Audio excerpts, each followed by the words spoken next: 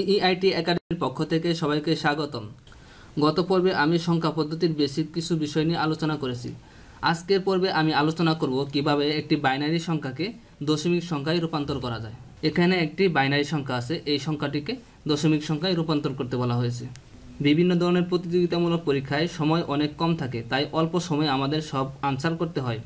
তাই আমি দেখাবো কীভাবে এই সংখ্যাটিকে শর্টকাটে খুব অল্প সময়ে দশমিক সংখ্যায় রূপান্তর করা যায়।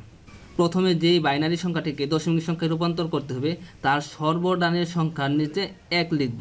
তারপর এই একের দ্বিগুণ তার বাম পাশে সংখ্যাতে লিখব। একের দ্বিগুণ হচ্ছে দুই দুই তার পরবর্তী বাম সংখ্যার নিচে লিখলাম। তারপর এই দুইয়ের দ্বিগুণ হচ্ছে চার চার তার পরবর্তী বামের সংখ্যার নিচে লিখব। এভাবে লেখার পর সংখ্যাগুলোকে যোগ করে দিলে যে রেজাল্ট পাবে, সেই রেজাল্টটি হচ্ছে আমাদের নির্ণয় রূপান্তরিত দশমিক সংখ্যা। চার, দুই এবং এক যোগ করলে হয় সাত। সুতরাং ওয়ান ওয়ান ওয়ান এই বাইনারি সংখ্যার ডেসিমেল সংখ্যা হচ্ছে সেভেন একইভাবে এই বাইনারি সংখ্যাকে যদি আমরা দশমিক সংখ্যায় রূপান্তর করতে চাই, তাহলে সর্বডানের সংখ্যার নিচে এক লিখলাম। একের দ্বিগুণ হচ্ছে দুই, দুইয়ের দ্বিগুণ হচ্ছে চার, চারের দ্বিগুণ হচ্ছে আট, আটের দ্বিগুণ হচ্ছে ষোলো। এভাবে লেখার পর বাইনারি সংখ্যার যেই যেই গড়ে শূন্য রয়েছে, সেই শূন্যের অঙ্কগুলো আমরা কেটে দেব। কেটে দেওয়ার পর যেই সংখ্যাগুলো বাকি রইল, সেই সংখ্যাগুলো যোগ করলে যে রেজাল্ট আসবে, সেই রেজাল্টটি হবে নির্ণয় বাইনারি সংখ্যা রূপান্তরিত দশমিক সংখ্যা।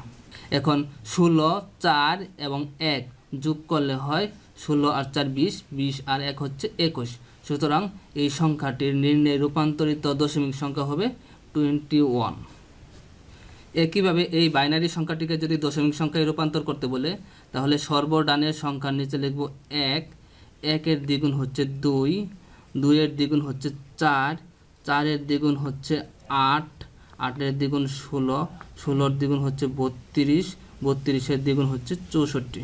এখন যেই যেই গড়ে শূন্য আছে, সেই শূন্যের সংখ্যাগুলো আমরা কেটে দেব। এখানে শূন্য আছে, আট কাটা গেল, এখানে শূন্য আছে, ষোলো কাটা গেল।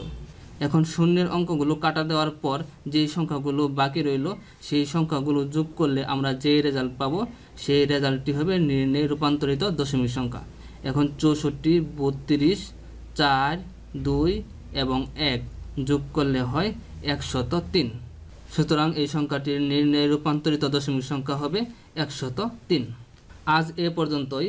আগামী পর্বে আমি দেখাবো কীভাবে বাইনারি সংখ্যা থেকে অক্টাল ও হেক্সাডেসিমেল সংখ্যায় রূপান্তর করা যায়। এতক্ষণ আমাদের সাথে থাকার জন্য ধন্যবাদ।